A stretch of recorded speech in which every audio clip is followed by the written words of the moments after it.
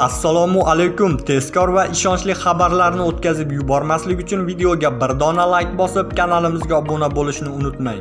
O'zgidrometning xabar qilishicha, yakshanba 24-aprel kuni ham havo massasi O'zbekistonning barcha hududlarini qamrab olishi kutilmoqda. Mamlakatning turli hududlarida yomg'ir yog'ishi momaqaldiroq bo'lishi mumkin. Toshkent, Samarqand, Jizzax, Sirdaryo va Farg'ona viloyatlarining ba'zi joylarida yomg'ir kuchli bo'lishi kutilmoqda. Havo harorati biroz pasayadi va kunduzi 20-25 darajadan yuqori bo'lmasligi mumkin. Respublikaning ba'zi joylarida shamol 17-22 metr sekundgacha kuchayishi kutilmoqda. 25-aprel dushanba kuni O'zbekistonning markaziy va sharqiy hududlarida yomg'ir yog'ishi saqlanib turishi kutilmoqda. 24-25-aprelda tog' oldi va tog'li hududlarda sel kelish xavfi mavjud.